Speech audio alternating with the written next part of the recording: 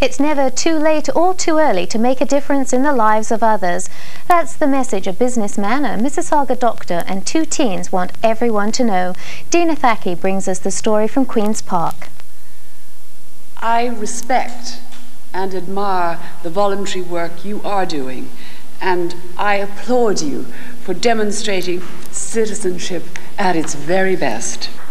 With that, three Peel residents received the 2001 Ontario Medal for Good Citizenship.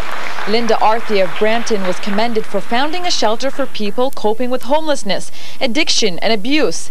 To name just a few of her accomplishments, she has volunteered full-time for six years at the shelter and is a foster parent as well as a sponsor of refugees. What we basically try to do is fill in the gaps, provide people with a place where they can just be and not have to answer 120 questions. They don't have a time limit. Um, it's not an agency, it's a home, and we're a family. Andre Mak of Mississauga, who also accepted a medal on behalf of Dr. Joseph Wong of Credit Valley Hospital, are co-chairs of the Yee Hong Wellness Foundation Capital Campaign for Peel Region. Together, they have raised close to $25 million to build three long-term care centers in Mississauga, Markham, and Toronto. They managed to recruit 150 volunteers and are aiming for $30 million.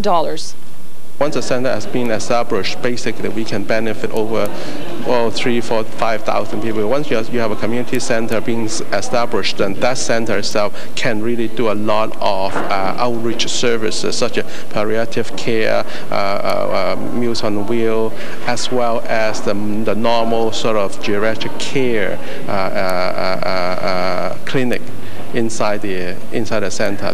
Coincidentally, two Peel students attended the ceremony with a special invitation. Nimra Faruqi and Cheryl Tin were among 26 grade 12 students selected from across Ontario for their outstanding commitment to volunteering. The program known as First Connection is a province-wide career and internship program funded by the Hilary Weston Foundation for Youth. Students are chosen for a two-month job placement with leading businesses in their hometowns. The two will return to their respective schools in September, where they will share their newfound information with classmates. I hope to go into electrical engineering and then from there I want to go and get an MBA and hopefully some knowledge in business. So I want to um, mold the two together about engineering and business. My most rewarding experience would be when I'm working at the Mississauga Trillium Hospital because uh, I'm helping out people and uh, it's nice to know that you're making a difference in somebody else's life.